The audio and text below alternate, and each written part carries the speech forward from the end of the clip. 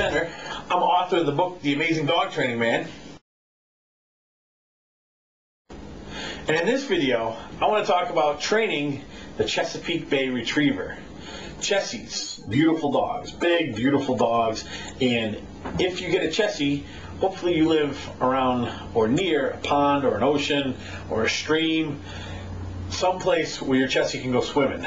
Most of the Chessies that I've known, you can't get them within 50 feet of a pond without them jumping in, and even if it's freezing cold weather. So, Chessies, great great dogs if you're really into outdoor activities. If you like hunting, swimming, fishing, boating, you can't find a better companion than a Chesapeake Bay Retriever. And very smart dogs, easy to train, good around other dogs, great family pets. Big thing about a Chessie is you want to teach them how to walk on leash, come when called, sit, stay, and lie down. Those are the basics that you want to teach them.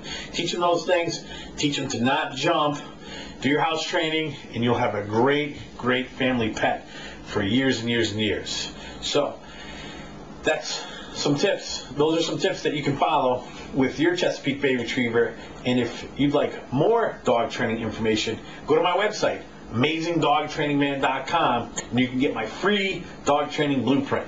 Absolutely free. So, thanks for watching this video, and good luck with your Chess.